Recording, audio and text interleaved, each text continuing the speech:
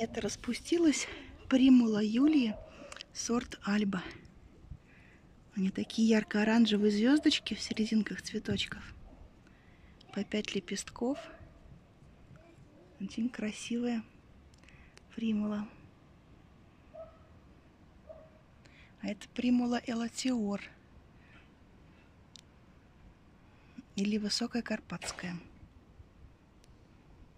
Брусничные листья с желто-оранжевыми серединками. Это примула Юлии, сорт Теодора, розовая.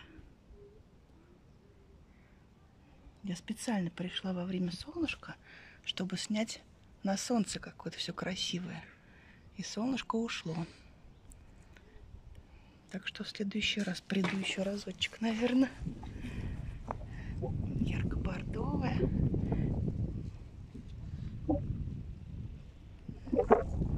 Это вульгарис.